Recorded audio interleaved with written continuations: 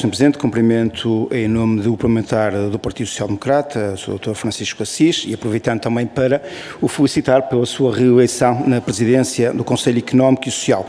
Cumprimento a Dra. Lucinda Damaso, Presidente da Comissão Especializada, e o Sr. Relator Conselheiro Oscar Gaspar. Sr. Presidente, Srs. Deputados, quando analisamos a Conta Geral do Estado, qualquer Conta Geral do Estado, sabemos antecipadamente que há matérias sobre as quais os governos do PS nunca desiludem.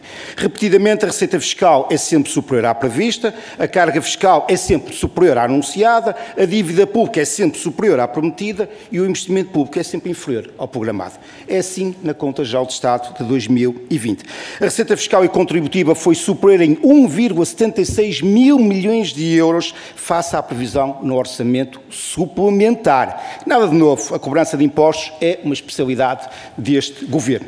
Quanto à carga fiscal, o governo dizia-nos esperar uma descida da mesma em 2020, mas segundo o Instituto Nacional de Estatística, a carga fiscal nesse ano foi a mais elevada de sempre. Atingimos os 70,4 mil milhões de euros, o que representa 34,8% do PIB nacional. Uma subida de 0,3 pontos percentuais relativamente a 2019 e registra um valor acima da média do conjunto dos países da OCDE.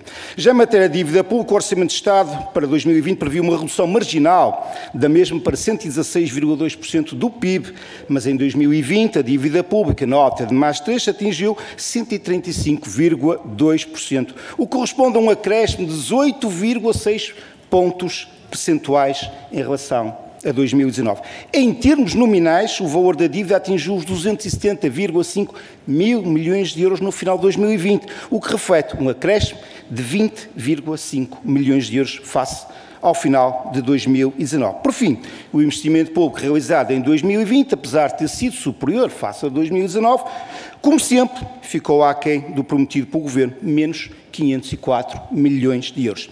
E já agora, apesar de ter sido superior a 2009, repare-se, não foi suficiente para retirar Portugal da cauda da zona euro. 2,2% do PIB contra 3,1% da média dos países da moeda única. E já agora diga-se também que continua abaixo dos 2,4% do PIB alcançados em 2015 no governo do PST-CDS-PP. Como refere o SES, o ano 2020 não pode ser analisado, seja qual for o caminho, sem ter em consideração a pandemia da Covid-19. Estamos plenamente de acordo, Sr. Presidente. E nesse contexto achamos particularmente interessante a análise do Conselho Económico Social em torno do esforço orçamental para fazer face ao impacto sanitário, social, económico e ambiental da pandemia.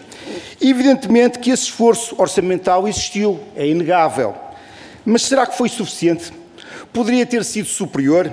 Havia condições para fazer melhor? E em termos comparativos, esse esforço orçamental foi superior ou foi inferior ao dos nossos parceiros europeus? Que esse esforço foi insuficiente, isso nos parece evidente.